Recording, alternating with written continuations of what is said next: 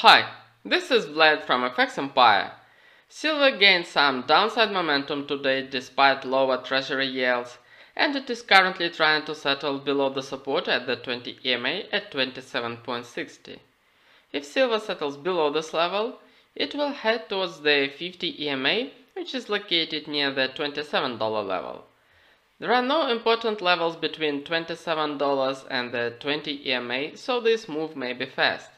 If silver declines below the 50 EMA, it will head towards the next support at 26.65, which is followed by the support at 26.30. On the upside, silver needs to get back above 27.75 to have a chance to gain upside momentum in the near term. The next resistance level is located at 28.30, followed by the resistance at 28.90.